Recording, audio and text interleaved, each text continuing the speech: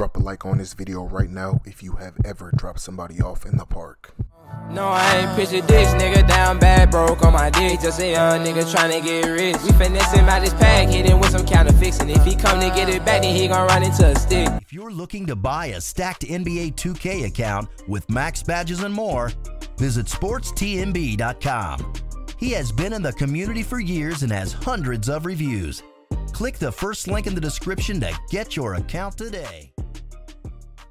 Hey, what's good, YouTube? Yung Versace signing in, coach. And today, I do have a free PlayStation Plus method for y'all, man. This free PlayStation Plus method will allow you to get free PlayStation Plus online.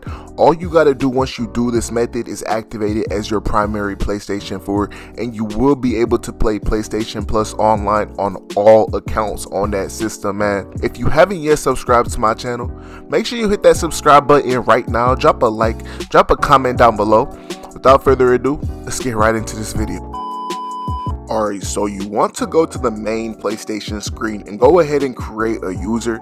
Now, before you do all this, you do want to have an email set up. It can be any email that works with PlayStation Network. I use Gmail every time. Gmail works perfectly fine for me, but you want to set up an email to receive the verification that we're going to get to later in the video.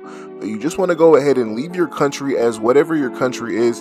It doesn't matter. You can go ahead and use the United States as your country if you would like. Just go ahead and create this account. Now, your postal code, you just want to use any valid zip code in the United States. You don't have to use the same exact postal code as I did, but you can go ahead and use this postal code. It can go ahead and work for you. And for your email, like I said, you do want to create an email before you go ahead and start this whole process. Now you do just want to go ahead and create this account as usual. The avatar doesn't matter, nor does the username.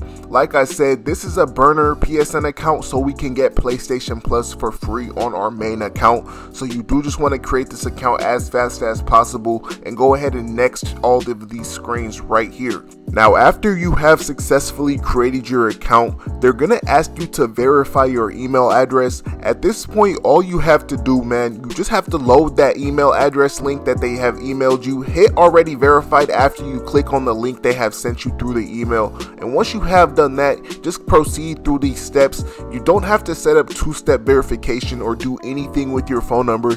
Just go ahead and hit do this later. Just proceed through these next few pages as usual. You do not want to purchase anything that they offer you, so just go ahead and hit circle on that screen right there. They're going to proceed you to your actual PlayStation home screen and just go ahead and hit OK. Then you will proceed to your PlayStation home screen and from here you just want to go directly into the PlayStation store. Once you load to the PlayStation store, look at the left side tab, scroll down to PS Plus and you're going to see a 14 day free trial as you scroll right. Now you just want to go ahead and sign up for this free trial.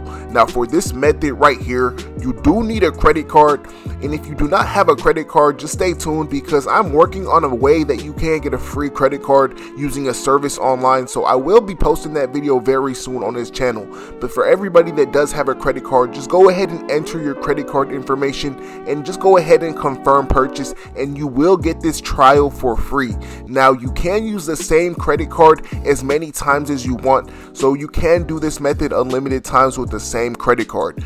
Now after you have added this credit card, Go to your settings and go to account management, then go to your PlayStation subscriptions, and you're gonna see the subscription right here. All you wanna do is turn off auto renew.